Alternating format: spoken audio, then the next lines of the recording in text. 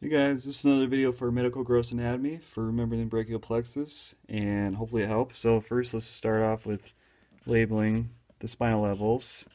So you want to do C5 to T1, okay? And then what you're going to do next is you're going to make these little wedges here and some lines coming over. Alright, then you want to do an X and another little line here. You want to branch those. Make this other wedge right here and another branch off. Okay? And then what we're going to do next is start labeling these little nerves that come off as well. So one up, one down. There. And then we have one coming off this branch right here. Another one next to it. You have one up, two down, and then three down. And that's pretty much it. Um, let's go ahead and label it though. So over here you have the really important branches you want to remember for this plexus. So you have your, let's see, musculocutaneous nerve, you have your axillary nerve, your radial nerve, your median nerve, and your ulnar nerve. Alright, so one way you can remember these is MARMU, M-A-R-M-U, MARMU. And that's a good way to remember it. Now, let's remember anatomical position. Okay, so your palms up. This is your lateral side, your thumbs out.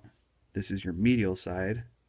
Okay, so a good way to remember this is with this little hand um, trick.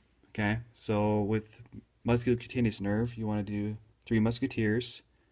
So your fingers match these spinal levels right here C5, C6, C7, C8, T1. Okay, just like that. So Three Musketeers is for musculocutaneous nerve, and that's C5 to C7. Assassinate is C5, C6. Five Rats, all the spinal levels. Four Mice, C6 to T1. Unconditionally for the ulnar nerve. Okay, and that's obviously C7 T1. Okay, so let's do that one more time.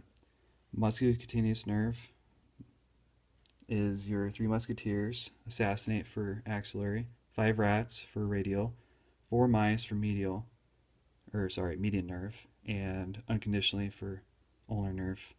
Okay? So try that out and see if it helps. Let's go ahead and label the rest of this though. You got your dorsal scapular nerve over here. Oops, sorry guys. This one that's kind of long, it's a hint because it's your long thoracic nerve. Okay. The one that comes up is your suprascapular nerve. This one that comes down is your subclavian nerve. Alright. The one that comes up off this communicating branch, that's what this is called. This is your lateral pectoral nerve. The one next to it is your lateral antebrachial cutaneous nerve. The one that comes up in the middle right here, that's your thoracodorsal nerve. The one on the left that comes down is your superior subscapular nerve. The one next to it is your inferior subscapular nerve. Alright, these three that come down, this is your median, sorry, hard to read that, pectoral nerve. The one next to it is your median brachial cutaneous nerve. And this one is your median antebrachial cutaneous nerve. And that's the whole plexus right there. Go ahead and practice drawing it and using three musketeers, assassinate five rats, four mice unconditionally to remember Marmu. And hopefully that helps. Good luck, guys.